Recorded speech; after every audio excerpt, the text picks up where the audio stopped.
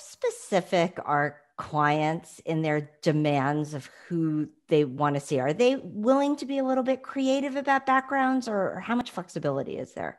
Good question. They are pretty specific. We typically get brought in because there is a open position that um, is vacant or it's been vacant for too long and they want someone who really can be a very quick um, addition to the team or they have a lean hr team trying to get a ton of work done and they'll bring us in to do something. So we're working very closely with the internal team. So to feel like it's not a heavy lift to get to onboard someone and get to know them they really want someone who kind of shows up in a very specific way.